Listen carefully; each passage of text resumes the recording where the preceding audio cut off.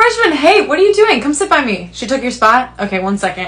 Hey, excuse me. I'm sorry if this is rude, but like my friend normally sits here. Stop and- moving. I'm like a cool freshman. Oh. You and Dylan would rather sit next to me anyway. That's definitely not true for me. But let me ask Dylan though. Dylan, is that true? Oh. No? Ah, didn't think so. I'm way cooler than her. Ooh, okay, I'm just gonna cut you off right there because it's getting painful. You know you don't have to like put people down to make yourself look better. Wait, what? Yeah. Anyway, kiddo.